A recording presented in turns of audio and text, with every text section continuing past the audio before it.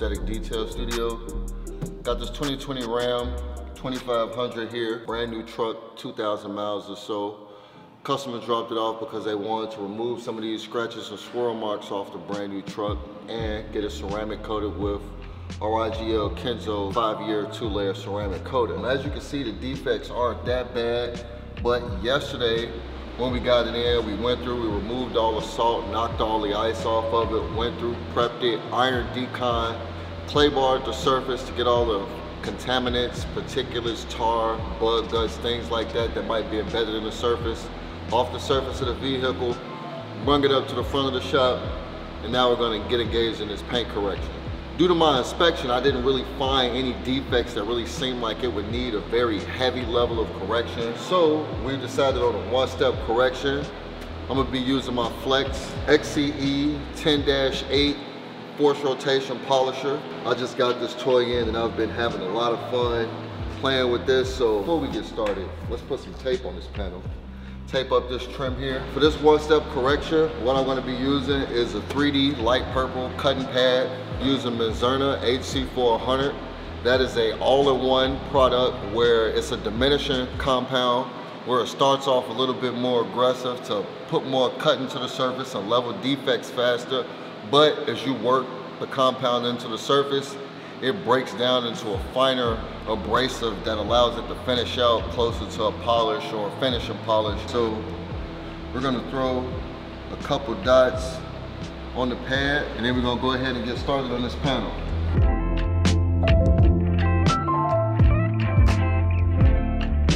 I got my electronic Rupes LHR 75E here. I'm now about to try and focus on this area around the door handle and since my large machine has a larger orbit, a five inch pad that won't necessarily fit best inside this area,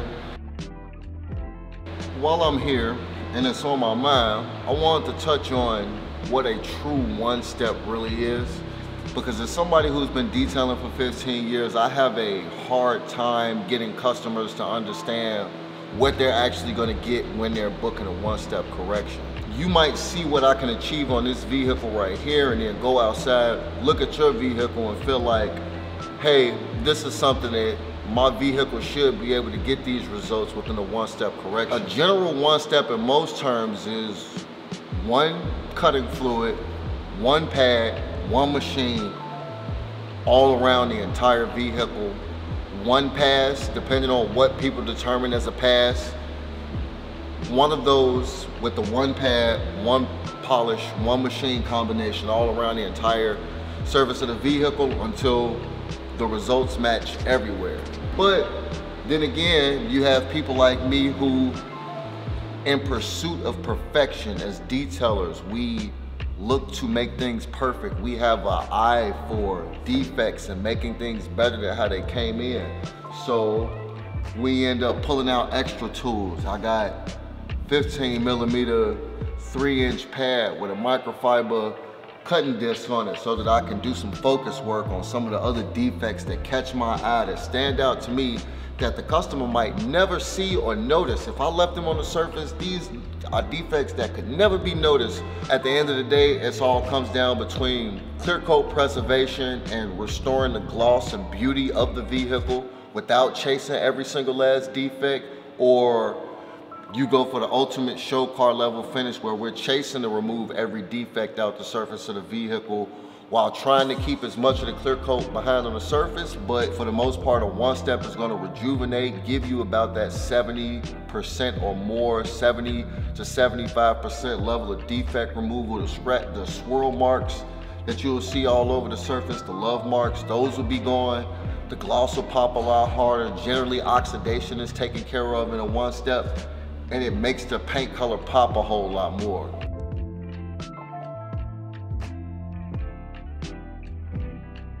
I'm gonna start working on the front bumper. I'm gonna lay some tape to tape off this nice uh, fog light housing that they have down here. And then I'm gonna do some work with some three inch pads on my the LHR 75 pneumatic here and polish out one step this whole front bumper to bring the gloss back out of it. So here at ADS, the way we like to prepare to do a ceramic coating is after every correction, depending on the method that we use to correct the vehicle, we like to bring it back into the wash bay and do what we call a ceramic preparation wash.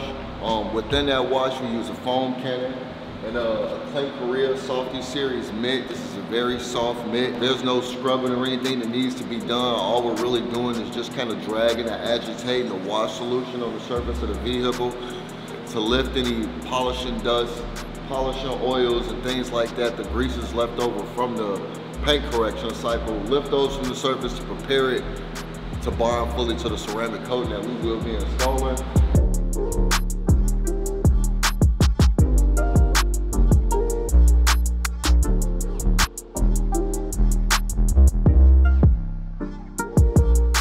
Finally made it to the protection stages of this detail here. And now we're gonna install IGL Kenzo 5-year ceramic coating. We've already wiped down the entire vehicle with IGL pre-coat. That's their orange fueled uh, panel prep solution. I'm very, very anal about my preparation procedures for ceramic coating. Now we're moving on to installing the ceramic coating.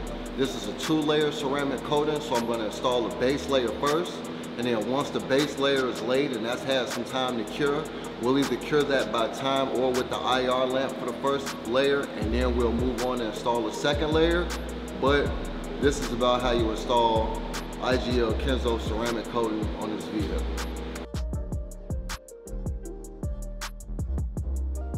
I got the entire front cab, everything from forward of the bed coated with the first layer of IGL Kenzo. Now that it's had some time to begin to bond to the surface, I'm gonna start by leveling the coating using this IGL microfiber coating towel.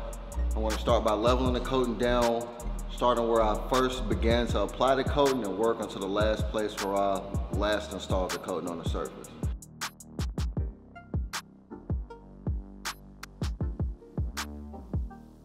First layer of IGL Kenzo has been laid, the base coat has been laid, installed, and leveled.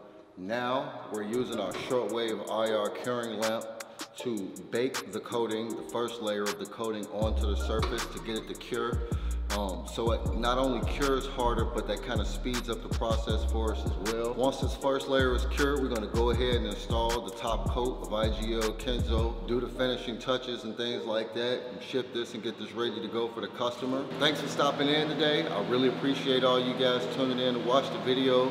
I'm a little bit new to this whole video thing, but as time goes on, we'll be keep producing more and more quality content as I get used to being in front of the camera and trying to welcome you guys into the world of Aesthetic Detail Studio. You can find us on Instagram and Facebook at Aesthetic Detail Studio. But for now, that's all I got for you guys because I got to wrap this one up. Welcome to the Art of Detailing. I'm Louis Fair, and thanks again.